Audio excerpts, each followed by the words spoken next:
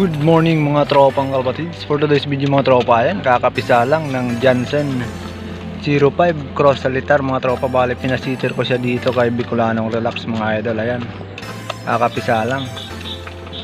Ayun, good hats naman siya. Ayan o. Pakaganda ng pagkapisa.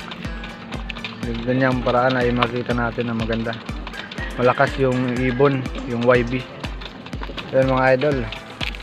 Bale, panglaro ko na to ngayong 2025 susunod na year.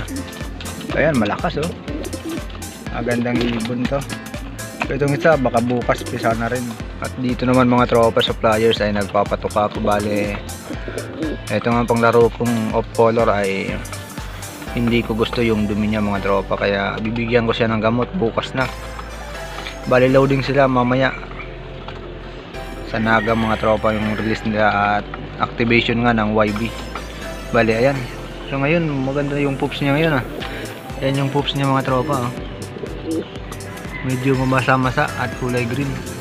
So yun napagtanungan ko na rin si Sir Joel Regalario kung anong gamot ang ibibigay ko bukas.